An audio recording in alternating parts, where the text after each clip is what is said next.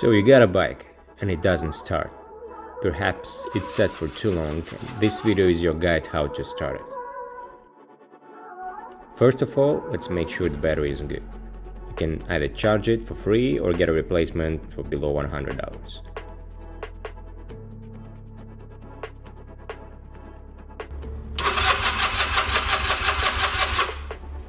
Still doesn't start.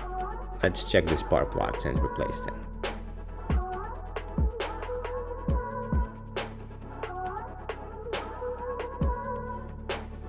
Let's try to start it one more time. Checking if the fuel is on.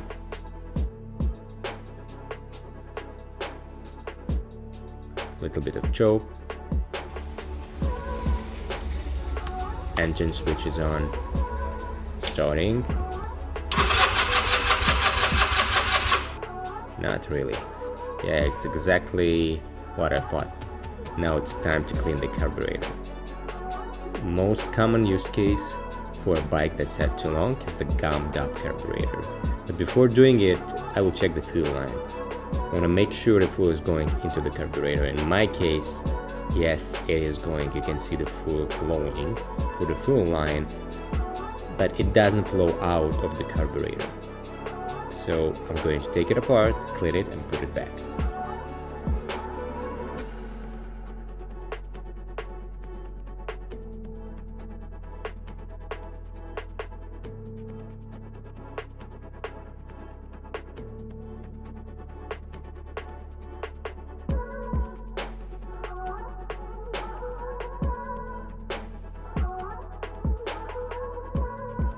And here you can see the cause of all the problems.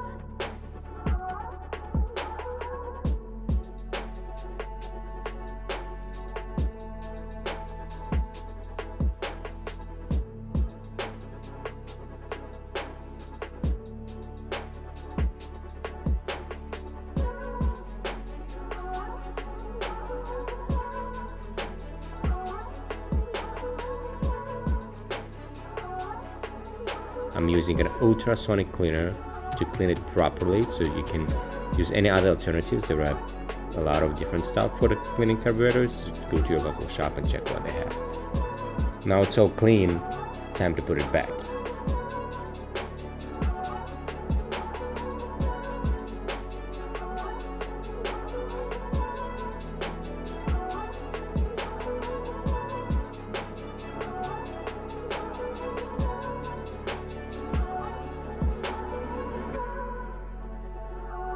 You might consider replacing an air filter as well because you have everything open up. And for a better airflow of course.